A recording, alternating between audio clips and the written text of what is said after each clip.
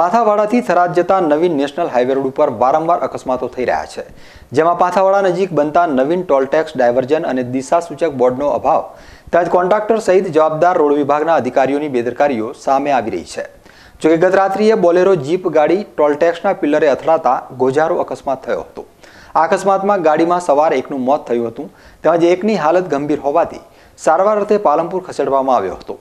અકસ્માતના પગલે સ્થાનિક લોકોએ ભારે આક્રોશ વ્યક્ત કરતા જણાવ્યું હતું કે નવીન બની રહેલ ટોલટેક્સના જોડે પડેલ ખાડાઓ પૂરવા તંત્રને વારંવાર રજૂઆત કરવામાં આવી છે. તેમ છતાં તંત્રના પેટનું પાણી હાલતું નથી અને નિર્દોષ ગાડી ચાલકને જીવ ગુમાવવાનો વારો આવ્યો છે. આખરે તંત્રએ અકસ્માત એક વ્યક્તિનું મોત નીપજ્યા બાદ ડાયવર્ઝન આપવામાં આવ્યું છે. જોકે સ્થાનિક લોકોનું કહેવું છે કે જો તંત્ર આ બાબતે વહેલું જાગ્યું હોત, તો આ નિર્દોષ વ્યક્તિઓ આવી રીતે અકસ્માતનો ભોગ બન્યા ન હોત.